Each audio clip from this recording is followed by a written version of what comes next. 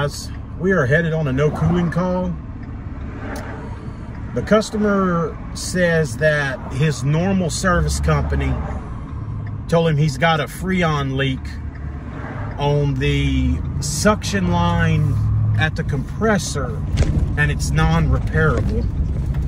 Those are the customer's words. And they just tried to sell him a new system. Uh, supposedly they've been putting Freon in it about a pound a year for the past couple years and they finally decided to hunt the leak down and they told him that's where they found it and they said it was non-repairable and he needed a new system. I've never really heard of that before. And the only thing I could think is if is if the shell of the compressor is cracked. That would be my only thinking of unrepairable. But if it's on the copper pipe, it's very repairable. But he got referred to me and he said the past four to five years he's stuck with his previous service company but he just hasn't had the confidence in him that he used to. Said they've kind of went downhill on him. So we're to go out here and take a look and see what he's got and see what we can come up with.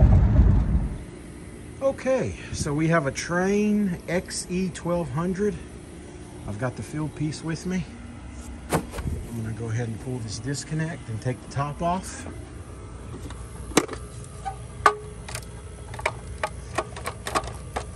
Ooh, these disconnects like to break. This is one of those plastic square D disconnects. Okay, it didn't break. All right, we have a two and a half ton from 01. All right, let's take the top off of it and see what we see. Okay, I can pretty much see the leak on that Rotolock. That Rotolock is uh, degrading.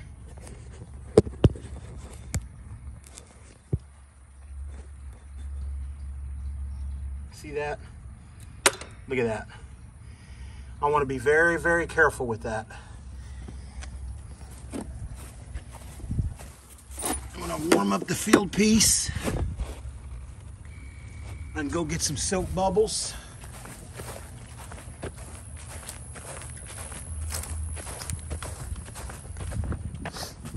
Some soap bubbles out of here. Which one are my bubbles? Right here. Hit it with the Fieldpiece first, and then we'll soap bubble it. But that can be fixed. We'll just have to buy a Rotolock from Trane. So we'll cut the pipe and weld on a new Rotolock and uh, unscrew that one. Spray it down real good, put a pipe wrench on it. Should be able to be fixed.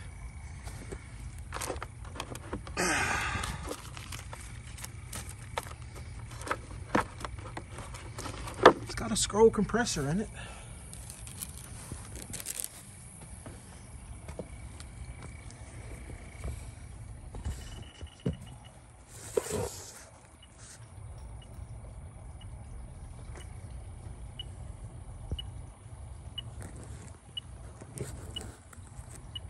Okay.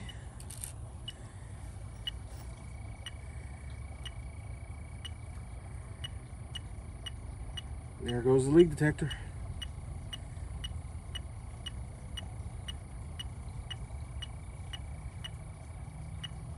But I tell you what, it's not hitting off hard.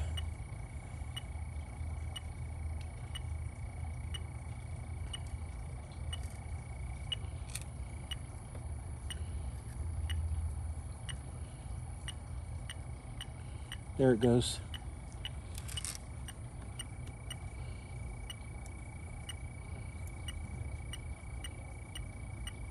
That Rotolock is falling apart.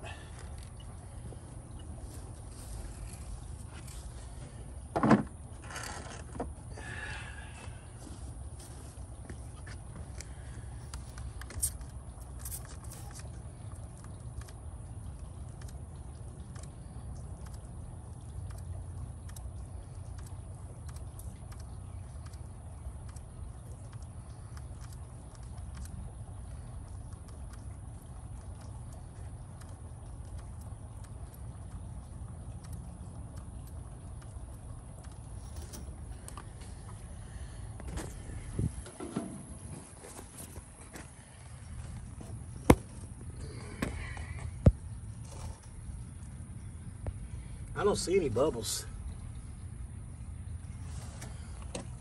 Maybe down there.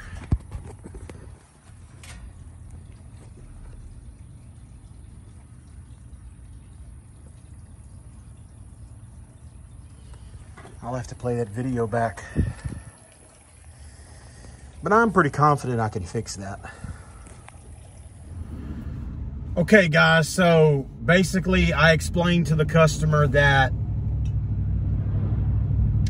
I really think I can fix it.